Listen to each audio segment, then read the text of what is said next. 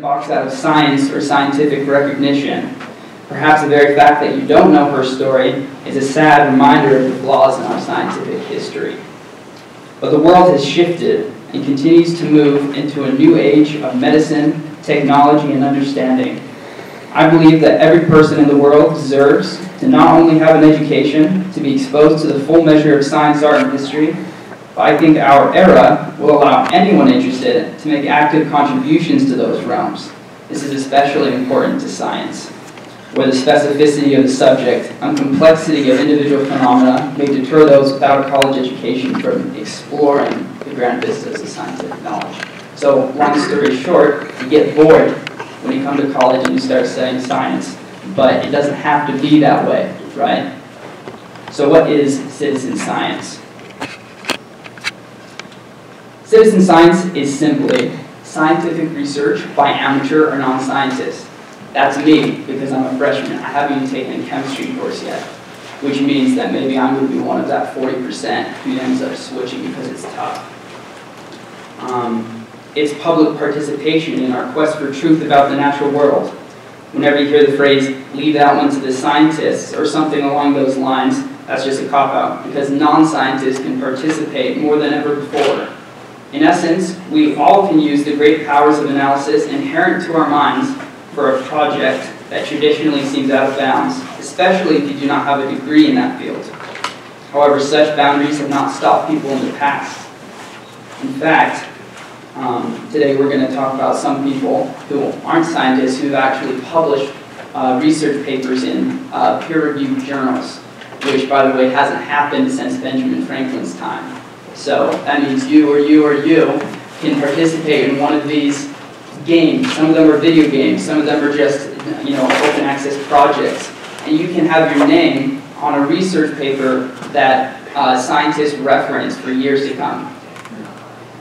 So um, you can make your mark uh, in the scientific community even if you're studying Shakespeare.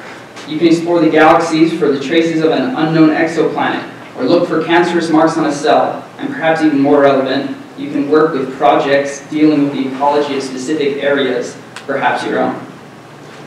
Citizen science has been around for a while. Um, there have always been volunteers, amateurs that contribute data to projects like um, if you've ever dug at an archaeological site or at a, I guess, pretend one in a museum um, where they bury uh, the, the bones uh, then you know that not all of them are paleontologists. Some of them are grad students, some of them are postdocs, but some of them are just kind of along for the ride because they like discovering new things. It's exciting, it's fun. That's what science is. In fact, I think that's what art is too. When you create something new, it's a process of discovery. So, one of these projects that's been going on since 1987, and this one's not the most uh, uh, this won't blow your mind, but it's the, one of the older ones that I found. It's called Feeder Watch. So every year, 15,000 people count birds at their feeders in their backyard. So they contribute valuable data. Uh, 1.5 million check checklists have been submitted since 1987. Feeder, feeder watchers, I guess is what they call themselves, have contributed valuable data enabling scientists to monitor changes in the distribution and abundance of birds. Using feeder watch data, scientists have studied the influence of non-native species on native bird communities, examined the association between birds and habitats, and tracked unpredictable movements in winter bird populations. This is super relevant because when we live in an age where biodiversity is decreasing at an alarming rate, bees, bats, all sorts of things are on the path to extinction, which means corn and all sorts of other plants are need to be pollinated, and it's going to get tougher to do that without a, a natural wild bee population. This kind of data is super valuable, and all you have to do is take a couple minutes out of your day to, you know, go count a bird at your bird feeder and identify it, or something along those lines. Um, participants gain from the rewarding experience of watching birds at their feeders and contributing their own observations to reveal larger patterns in bird populations across the continent. So some of you may question, why would I ever want to do that? Maybe you don't. Maybe you don't want to feed birds and, uh, I don't know, count them and stuff. I personally don't want to do that, but some people really like bird watching, each to their own. Um, why would you want to participate in the scientific process? Honestly, because it is fun. it's useful. And it's, it gives a, a, sense of meaning and purpose to your life that um, you can find in other things, but I think uh, a lot of people neglect science for what it can do in that regard. It helps you become a lifelong learner, which is something they're definitely pushing here at UVU. They want you to continue to learn even after you graduate, even if even after you have a career, a nine to five job, and instead of coming home and flopping down on the couch and watching TV, maybe you can look for cancerous marks on a cell and help someone, right? The more informed you are about science, the better equipped you are to judge the arguments of politicians, pop culture trends, and sensational internet claims for what they actually are. Bogus. Most of them bogus. And not what people say they are. There's a paper published recently, I mentioned earlier, by people sitting at home.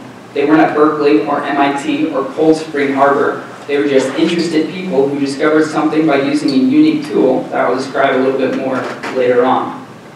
These are uh, non-scientists.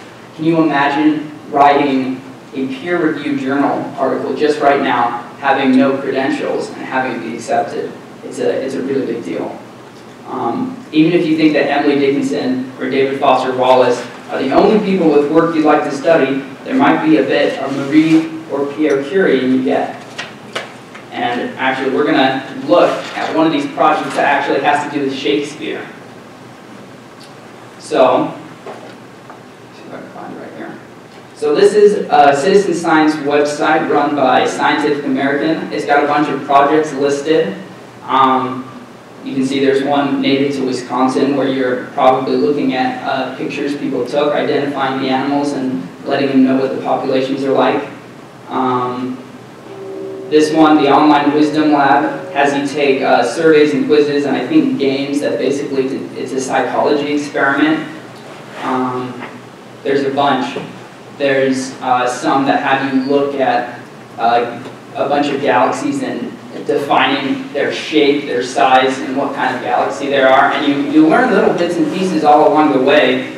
And it's not, it, they make it with non-scientists in mind. They're not just going to dump graduate level course stuff on you because they want help, right? And you're not going to get a million people to help on a project if you're instantly shut off by the jargon that science sometimes has. So, in this one, so this is run by the Folger Shakespeare Library, and it's on Zooniverse. If anyone wants to check out Zooniverse, that's got a lot of good stuff. Um, basically, what you're doing is you're going through old manuscripts from people in the 1500s and 1600s, and if you find a word that isn't in our current lexicon of the English language, they'll add it to the Merriam-Webster or the Oxford English Dictionary. So you can discover a new word, maybe a beautiful word, that can be added to the dictionary, and you know you get to claim that. Um, it, the whole point of the project is to help get a cultural understanding of the time when Shakespeare lived. And since they have digitized all these records, we can do that now. So instead of just guessing about um, what Shakespeare might have done, they'll have actual data to what he probably did. Um, see, that one's, that one's, again, that one might be a little bit boring because you're transcribing letters, but if anyone's done family uh, search indexing, after the initial plateau of being bored, it can be really interesting and really fun. So here's a pretty intense community project that actually has the capability to save lives. So I don't know if anyone's ever lived near a volcano. I haven't. Uh, and you'll have to, I, I apologize because I don't speak Spanish and there's a lot of uh, uh, Spanish and Ecuadorian names here that I, I can't say. We can help you translate. All right. Thank you. um, so there's a farmer, right, in the modest surroundings of the Ecuadorian Andes village, uh, Bilbao. Um, and he plies the land, uh, plows the land by day and monitors volcanic eruptions by night. He's one of 35 residents across local villages and towns in the path of that volcano, which I can't say, Tungurahua or something, that make up the network of volunteers known as the Watchmen that's the, I guess, the Spanish word that's translated something like Watchman Guard Centennial or Sentinel. Um, they have passion and enthusiasm for they, that they bring to these local roles they have in monitoring this volcano. Um, I think uh, back when they first, uh, when it when it actually went off uh, in the late 90s, I think, they were forced out of their homes and they, they were kind of blocked out of the area by military checkpoints. But these are their homes, they're proud of living next to a volcano, this is their heritage, and so they overrun the army checkpoints and live there anyway. So now what do you do? There's a volcano that could erupt at any given time. You know, you don't have a billion volcanologists, that's a pretty specific field to go and monitor this thing, and people could die. You know, it's a serious deal. So what do you do? You train the citizens themselves in volcanology, and you teach them the warning signs and, and uh, give them the, the latest data to, to protect them. And that's, that's exactly what they did here in Ecuador. Um, they work closely with the uh, IGEPN, which is the Ecuadorian Civil Protection Agency. Um, citizens are trained by scientists at the Institute about what to observe, how to describe phenomena, and how to communicate with the local civil protection organizations that manage volcano. Every night at 8 p.m., you know, like a vigil almost, they report their observations to the civil defense on a joint radio system. And they also uh, assist with evacuation drills. So these people that, um, here we have a little volcano there. These people that, you know, were just kind of, they're farmers. They're, they're you know, uh, your average, uh, you know, citizen in this, you know, small mountain town. They've been trained to uh, recognize as well as a, volcan a volcanologist can do the threats that a volcano poses and how to see that. And they've actually become leaders in their communities um, in evacuating, you know, for evacuation drills and all sorts of things. I can only see this as a positive, you know. In volcanology, there's a great deal of research that's put into the prediction of specific hazards. Um, typically, these watchmen will live in communities where there are between 15 to 300 people and men have naturally gone on to become community leaders. Villagers, not just the leaders, the villagers now listen intently to the radio networks and often gather around in groups to hear updates and communications. So they're united as a community in a common goal to protect themselves, you know, from, from this beautiful and dangerous natural phenomenon. So, what's most noticeable and key to the network continued existence and impact is the motivations of the citizens, the watchmen themselves. Why would you, why would you want to do this? You know, why would you want to step up to the plate and do this? Many are interested in science. Um, and I think pretty much anyone, if you've ever seen Neil deGrasse Tyson or Carl Sagan or Bill Nye as a kid, um, you have at least a casual interest in science, right? Um, maybe uh, these people are willing to learn and they, they contribute to helping people feel safer in their neighborhoods. Um, one of them started their own volcano museum after he uh, had a seismometer installed near his home. A local fire chief made the radio network possible by fitting radio mass around the community. Um, others have filled bookshelves with volcanology textbooks and are teaching their children on the science of volcanic eruptions while uh, radio communications have become as popular as sports matches in some of the communities. So not only are the children learning cutting edge science, um, I think that that sets them up to be uh, premier in, in whatever they do in life, whether it's in science or not, because they're having this education, right? Um, anyway, so that's an example of citizen science that saves lives. I don't live near a volcano, so I don't have a drastic example like that. But um, I think in the future, when it comes to things like bees and global warming, that's easily if, uh, as dangerous, if not more dangerous, than living next to an active volcano. Um, so moving on, we're going to switch gears a little bit um, to uh, crowdsourcing. Has anyone heard of crowdsourcing? Business majors, maybe? Heard of it? No, not this. Okay. Other people then. um, crowdsourcing um, has many ties to business, um, but it's pretty much uh, utilizing an online platform to get uh, thousands of people together to contribute ideas, um, sometimes to do work, uh, and it's uh, it's a pretty powerful model for, for innovation. So this is crowdsourcing.org. None of these are science websites, by the way, but there's a growing number of science websites that use these same principles. All of these, from Netflix to, um, I actually don't recognize a lot of these, the blog TV, whatever that is, all, of these utilize um, this up and coming uh, innovative thing. And I actually went and I talked to Mark Seastrand at the Entrepreneurship Institute um, because he was the guy that knew the most about uh, crowdsourcing um, and specifically crowdfunding. And he's going to talk about that. Those of you who don't know, crowdfunding is just like an online donation system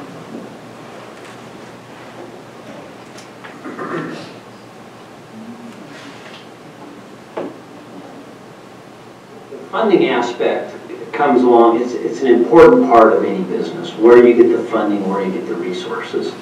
The crowdsource funding and, and any aspect of the funding, though, is still a function of how good is your idea, how well have you defined your idea and put the pieces of the puzzle together to where it really tells a story, it really has some substance to it that makes the idea viable and workable.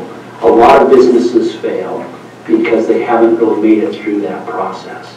And so it comes down to whether you're, you're, you're using crowdsourcing or whether you're borrowing money from you know the, the family, friends, and fools, or whether you're going to a bank. You have to have a solid business plan. And what I love about crowdsourcing and, and the crowdfunding is that it not only has the potential to give you the, the funding that you need, it's a great validation tool. Because part of what you have to do is uh, starting a new business is before you invest a lot of money in developing prototypes and, and, and developing your idea, you want to really make sure that somebody is going to be willing to pay for this product, that somebody's going to look at your idea and your concept and say, I like that, I'm willing to, uh, to invest. So it, it's not only, for me, that it's not only just the funding uh, aspect, but it's the validation that offers a lot of, a lot of credibility, a lot of reassurance to, you know, the entrepreneur that, hey, it, it, I've got some money, you know, coming in, but more importantly, people like my idea. So, um, that's for business, but um, ever since about 2007, 2008, crowdsourcing and crowdfunding, like uh, the SciFund Challenge, have been an up-and-coming way to pay for scientific endeavors. Because government grants, your tax money, can't pay for everything we want to do in science um, especially with uh, really expensive technologies, it's just not possible, especially with budgets. Um, uh, even with uh, modern initiatives, budgets are slashed. You know, every year NASA's gotten into hot water trying to pay for stuff. They have to justify themselves for, you know, exploring, you know, uh, the universe. Um, and and there's, there's, there's good arguments on both sides for that. But what if we could just bypass the government you know, and on a volunteer, volunteer basis, fund the projects we think are worth pursuing, you know, make, make the money, I guess, go to, let the public decide what they think is important. Um, on these kinds of online platforms, video games tend to be what's deemed the most important. On Kickstarter, uh, every year about $2 billion is raised through crowdfunding. Of that $2 billion, 250 million of it is toward video game development. So the natural conclusion to that is to make science into video games that can then progress scientific research. And in fact, they've already done that. So there's this game, um, it's called Eterna, or E-T-E-R-N-A, and it's basically an RNA folding, folding game. You know, it, I don't think it's more difficult than Candy Crush and it's, it's, it's about as fun too. But what you're actually doing is you're solving puzzles that um, basically lead to, what happened here, we're just going to go to the website.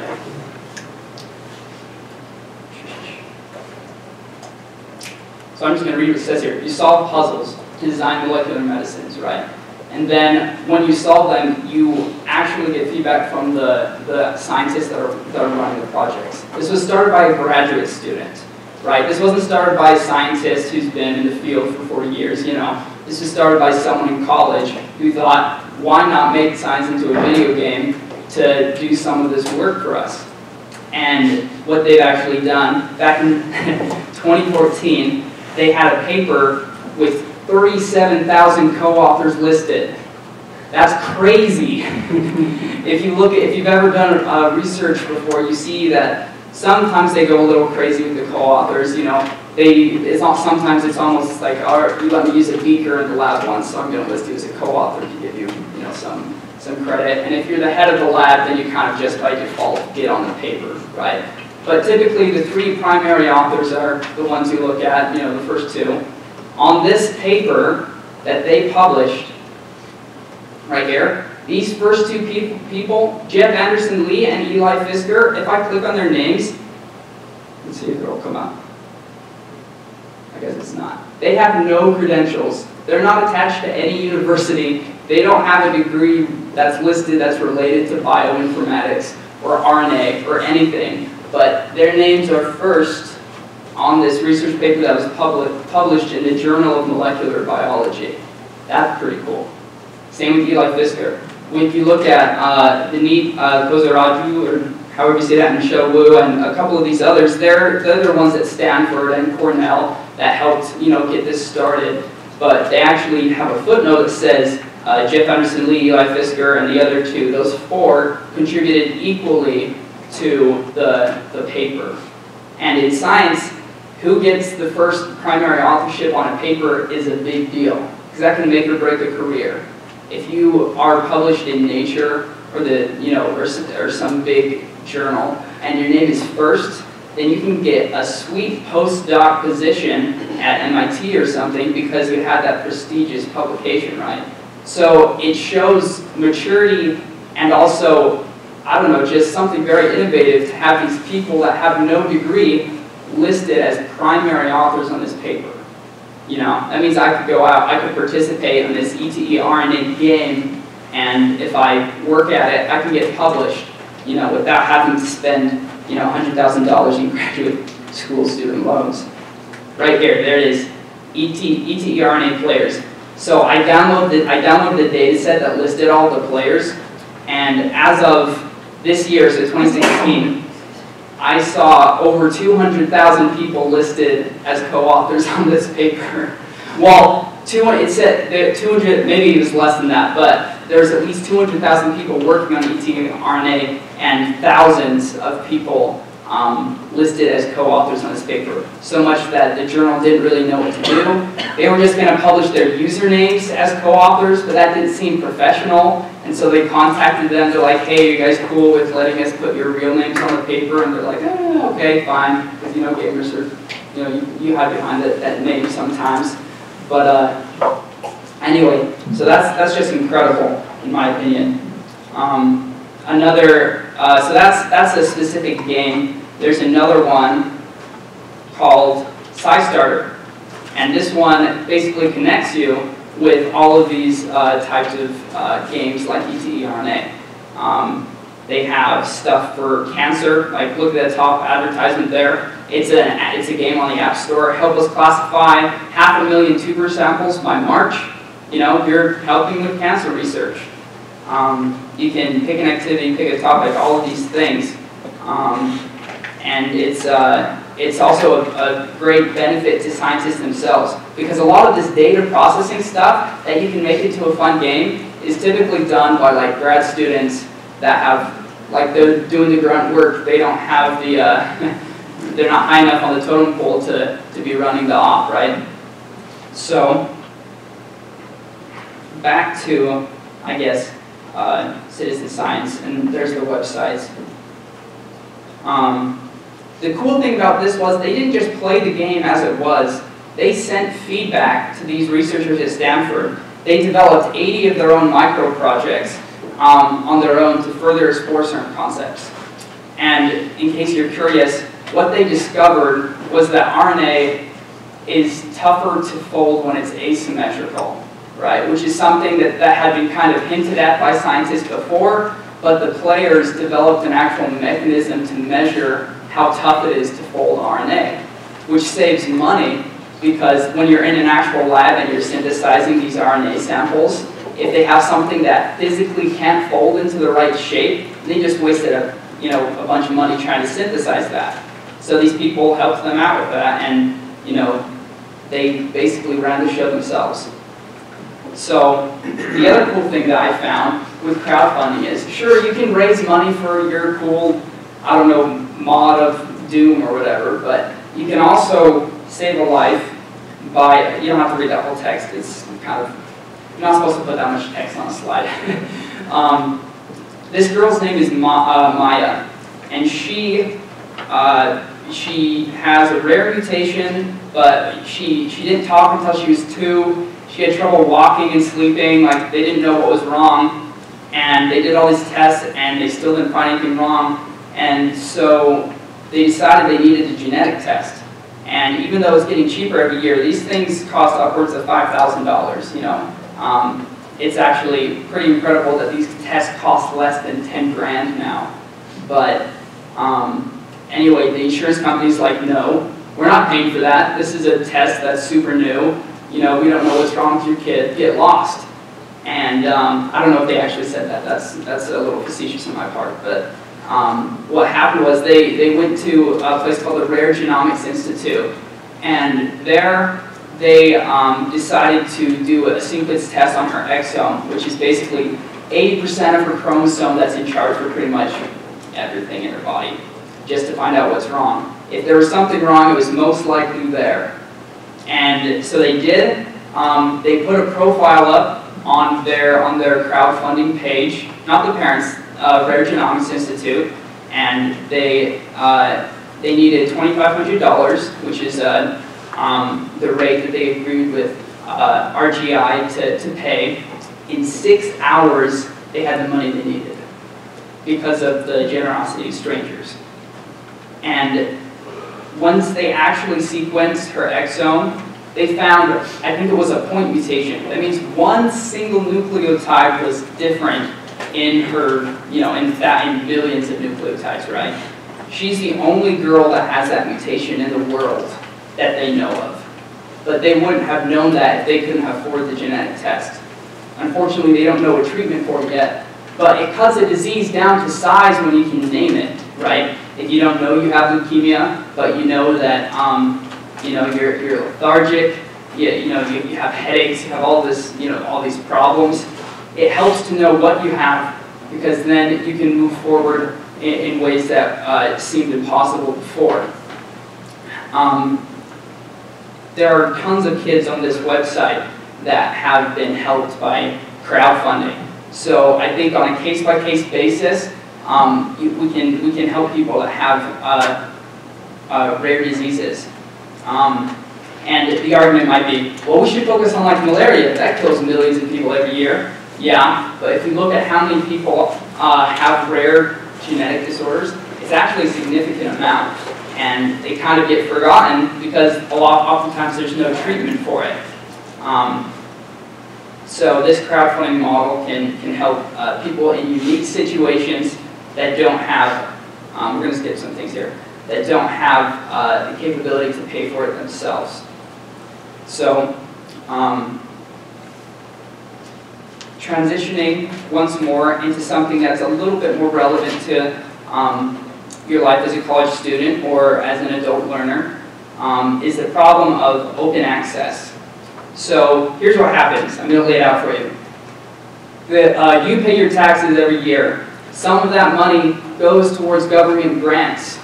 Those government grants are given to, you know, the NIH, goes to scientists who do cancer research.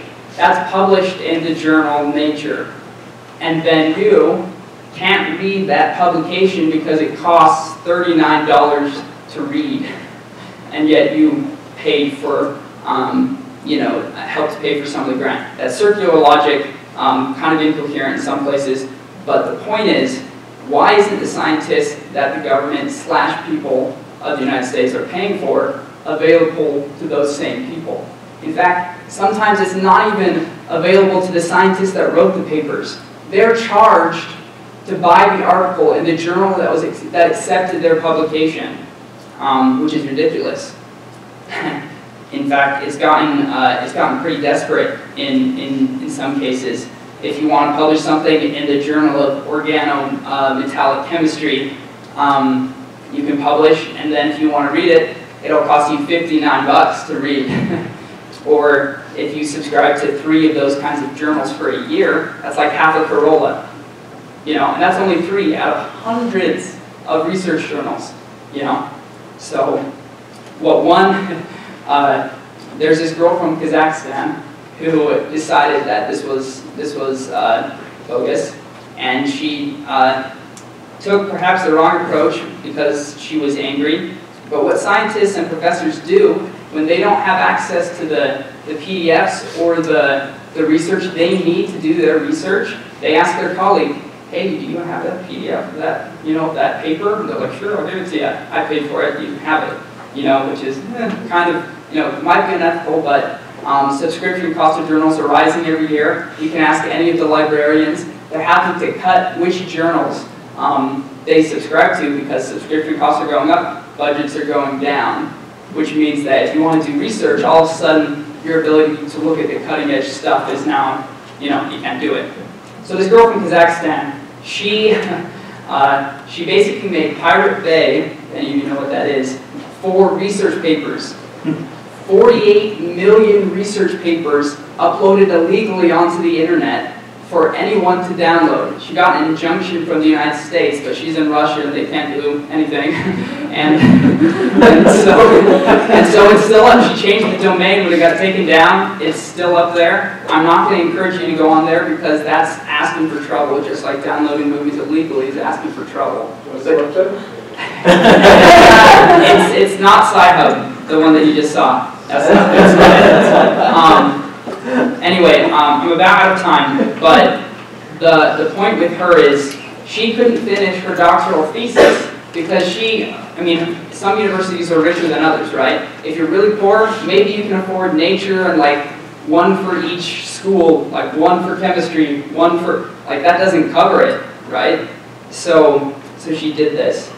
Um, and the way forward is to, to make all science open um, to make it to make it uh, more uh, accessible to the general public, to the people that are actually paying for it. You know, so um, sometimes scientists have to post on on Twitter. ICanHazPDF to find the, uh, the the paper they need. Um, in conclusion, just skip to the end.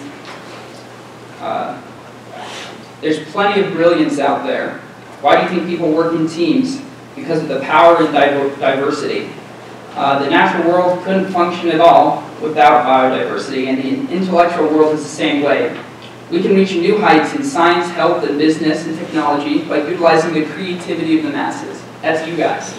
That's you guys participating in these scientific endeavors. Um, I believe people will rise to the occasion. Um, collab collaboration in this regard is crucial the dividends of education and communication skills of those involved. Um, it will form uh, new links and bridges to a world of which we cannot yet conceive. We live in a time of grand opportunity, so seize it and go to discover something. Become a citizen scientist. Thank you.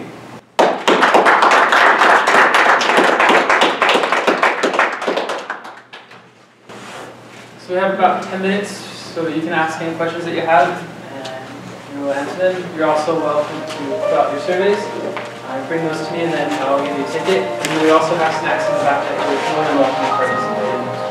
Do we have any questions?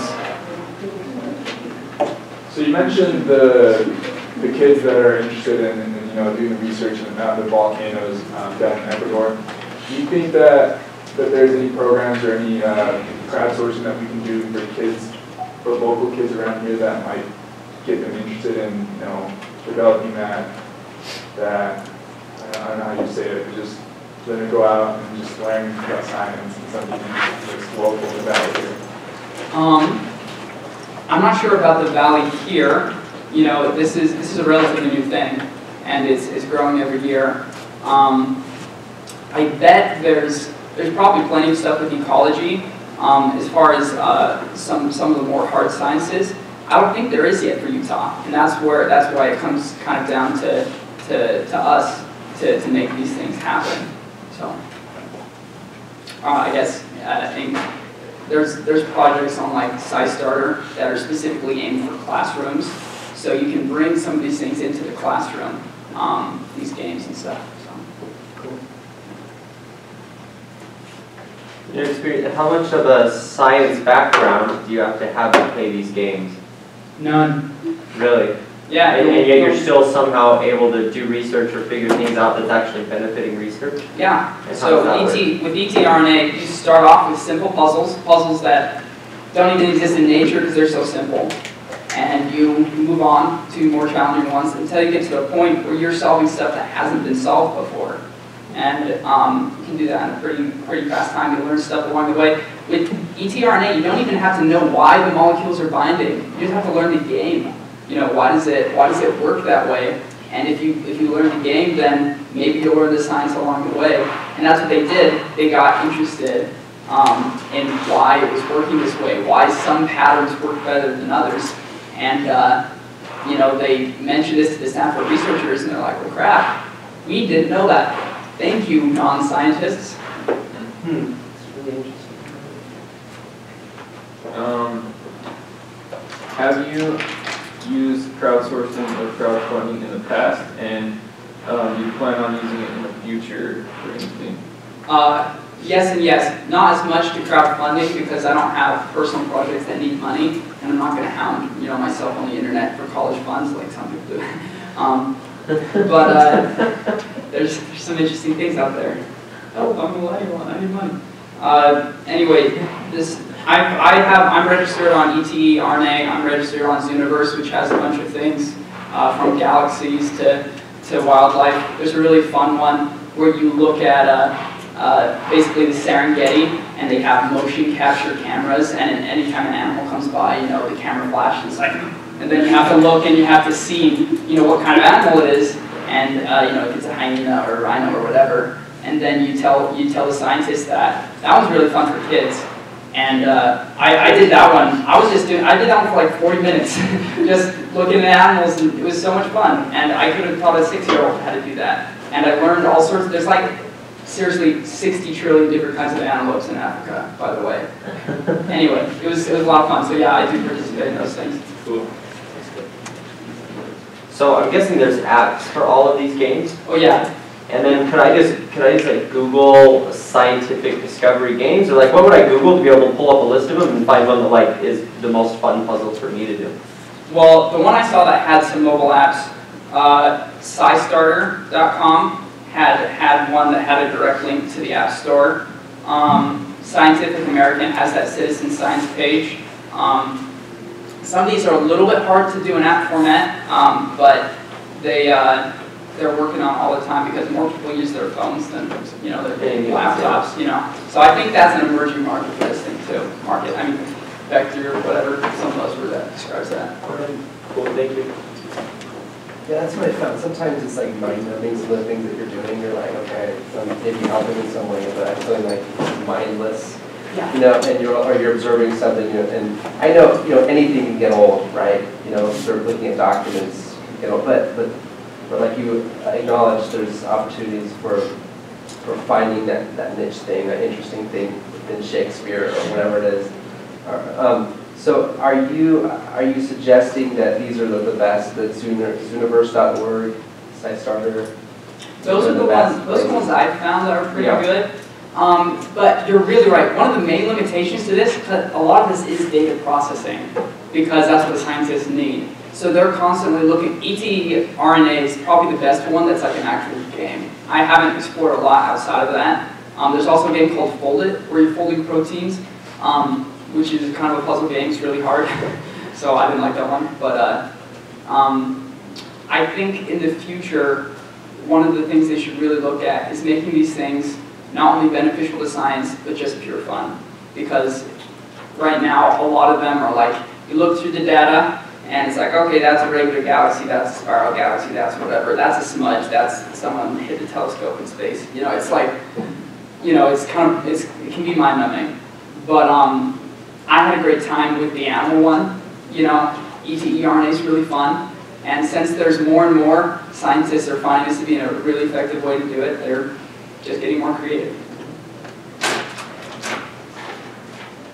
I know it's been a lot of questions. Um, I was also wanting to know, so like you mentioned that some people were able to be uh, on there as authors or as contributors to an article. Would that be considered in the educational and the scientific domain as publishing in a scientific journal? Yeah, So I can play games and receive publishings and I can put that on my resume Yeah, for That's a little bit more involved, like, it's not just you play the game and then, like, you, you work on a project that, like, you you you're basically chatting with the other people in the game, you're like, all right, what's, what, what have we noticed here? What, uh, what's, what's, you know, what, what are we looking for, what are we trying to solve?